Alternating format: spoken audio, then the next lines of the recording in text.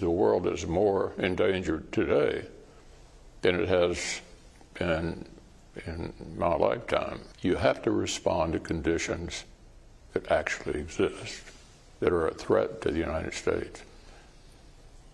The Iranians are a threat to us as well. And so this is an emergency.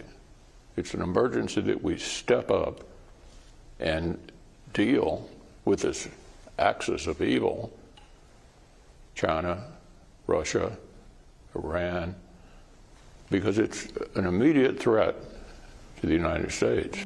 Pete, the argument is that he is voicing what the defense and intelligence communities have been stating for a long time. The question is will our administration respond accordingly? The problem is, I have, I don't even want to say little, no faith in this administration to execute, no faith in Lloyd Austin at the Pentagon to put together a coherent military strategy. And then you just have targets in the region uh, who are not deterring anything. This is the administration that was going to deter the Ukra Ukraine invasion, that was going to deter the Taliban from taking over Afghanistan. They're obsessed with climate, climatizing and climate change in the military. And then real threats pop up. And all they've done instead is drive Russia into the hands of China empowered Iran with money and the capability to reach a nuclear bomb. Imagine if they had a bomb and what the situation would look like in that scenario. So it's good to have troops there if you're really going to deter.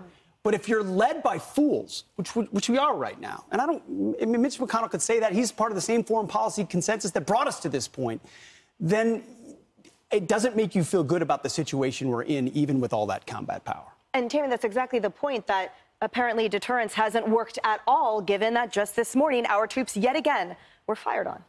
Well, look, and then you've got whether it's McConnell, people who've been in Washington for decades. And the answer has always been for decades just stop. Israel, just, you know, go in and stop and withdraw, have a ceasefire, send in the aid. Uh, and it's over and over and over and over again. And this is what you end up getting. You get you get an entity that believes the same damn thing's going to happen, and it encourages them. They push it further and further and further, and that's what we saw. I don't know. Maybe Joe Biden would call what happened on the seventh a limited incursion. I don't know, mm. but that is the problem. It's not just your opinion. What you stated is the world's opinion. And we saw that after Afghanistan was the panic with in Taiwan and other places about people feeling like they're on their own. And oh, the joy of that. So is this a war with Hamas? Yes, but it's a proxy for Iran. We can't ignore that.